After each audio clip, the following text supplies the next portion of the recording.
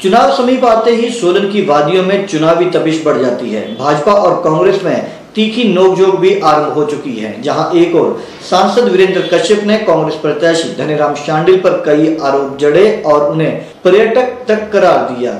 उनका उपहास किया और, और कहा कि विधायक केवल पर्यटक की तरह सोलन में आते हैं और विश्राम गृह के कमरा नंबर छह इस्तेमाल करके चले जाते हैं। उन्होंने ये भी कहा कि पाँच वर्षों में सोलन की जनता पानी की बूंद को तरसती रही, अस्पताल में चिकित्सक उपलब्ध नहीं हो सके। शांडिल की नालायकी की वजह से सोलन नगर निगम नहीं बन सका। यही कारण है कि सोलन की जनता बदलाव चाहती है। वहीं इस मुद्दे पर कांग्रेस जिला महामंत्री अरविंद गुप्ता और मार्केट कमेटी सोलन के चेयरमैन रमेश ठाकुर ने पलटवार करते हुए कहा कि सांसद वीरेंद्र कश्यप को अपना चश्मा बदलने की ज़रूरत है। क्योंकि हिमाचल में सबसे ज़्यादा विकास पर खर्च सोलन विधानसभा क्षेत्र में हुआ है। उन्होंने तंज कसते हुए मीडिया के माध्यम से सांसद से प्रश्न किया कि उन्होंने जगजीत नगर गोद में लिया था, जहाँ विकास क्या होता है। वे, वहाँ के लोग आज तक पता नहीं लगा पाए हैं। साथ ही सोलन में विकास के लिए उन्होंने एक फूटी कौड़ी तक नहीं दी है तो वे अपने किस मुँह से विकास की बात कर रहे हैं?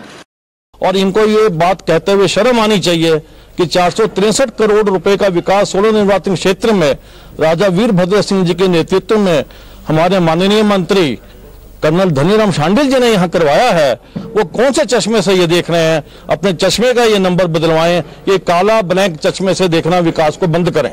वीरेंद्र कश्यप जी, कि आपने गाँव गोद लिया था जगजीत नगर वहाँ पर क्या हाल है?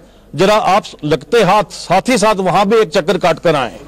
तो आपको पता चलेगा कि आप आठ साल में क्या कर पाए हैं। चालीस करोड़ रुपए आपको मिल चुका है। आपने पाँच नए पैसे भी सोलह निर्वाचन क्षेत्र में कहीं खर्च नहीं किए हैं। बड़े दुख की बात है कि वीरेंद्र कश्यप जी यहाँ आठ साल से हमारे मेंबर पार्लियामेंट हैं। और उन्होंने आज तक किसी पंचायत में कोई पैसा नहीं दिया और इनसे पूछना चाहते हैं भारतीय जनता पार्टी के लोगों से कि जब इनकी सरकार थी, इन्होंने क्यों नहीं fifty bed hospital Kandaghat बनाया?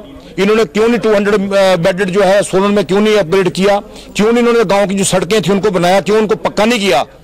क्या ये बिंदल जी जो हमारे मंत्री थे, क्या वो काम नहीं कर सकते थे? चार अरब तिरसठ करोड़ रुपया यहाँ खर्च किया है। ये क्या इनको, ये दिखने रहा कि लोगों के जो विकास कार्य हुए हैं ये ये इनको शर्म आनी चाहिए ऐसी बातें करते हुए।